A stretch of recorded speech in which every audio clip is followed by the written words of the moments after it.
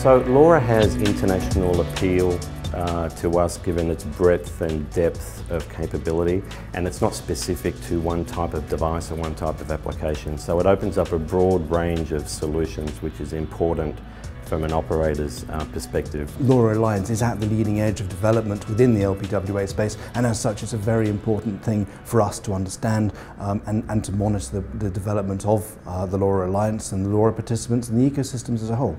Yeah, actually I was uh, very surprised uh, to see how fast actually LoRa Alliance is growing and especially what has been achieved uh, in between, uh, I would say, March timeframe and now it's, uh, it's incredible.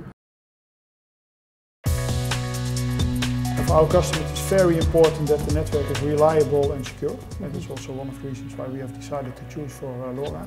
The LoRa Alliance is really uh, vital for us. The Internet of Things is really anything connecting to anything. That, that's a dream. Obviously no single company can achieve such a big dream. So of course if we zoom in that uh, uh, long range, low power technology. You have different technologies on the market, etc. So we decided to, to have a full investigation and to check.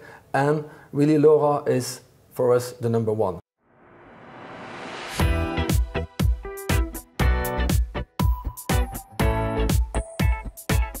So we are really pleased to be part of this meeting. We see a very vibrant ecosystem of people.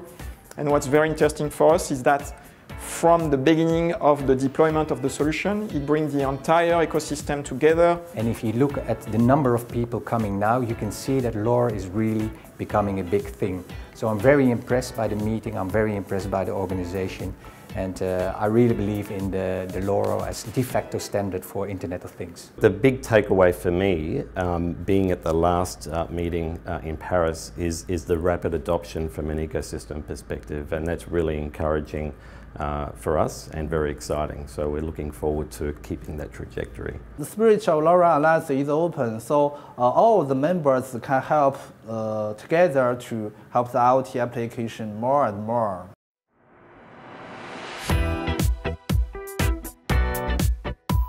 There's a real buzz around the event. There's about three or four hundred people and companies that arrived now and um, yeah, it's shaping up to a, a fantastic event here in uh, Rotterdam. And I think also when you look at the visitor list, it's great to see yeah. that, uh, that it's doubled uh, compared with last time. So I, I, really think that we have gold in hand and uh, that we, if we manage it properly with each other, that we can create really a successful new business. To now, if you look in the corridors, you'll get just every tier one, every tier one operator being there. Not all of them publicly announcing that they're looking at LoRa, but they're all present. And that is just in six months. It's been a great event so far. Um, I'm glad I came, I've learned a lot, um, seen some very interesting and innovative uh, propositions, um, some which have been announced, some which are about to be announced. Also we have customers from all over the world and many of them I can meet here in the LoRa Alliance meeting. Seeing a lot of the products from different companies is very good. Yeah. The members are very cool. Uh, they are very, they have uh, new ideas, they have uh, new devices, so we can learn many things from them. And it's a unique opportunity that the network providers and the hardware developers and the software people coming together, sharing the ideas, um, make the new guidelines for the, for the next step basically of development. It's an amazing event and I've collected many, many business cards and spoken to many, many people. So it's, uh, it's great for us so many companies they start to show the interest mm -hmm. and like today you know and uh, I got too many questions and inquiry from my customer potential customers so it's really impressive meeting so I think it's very successful you know and we definitely will be here next time.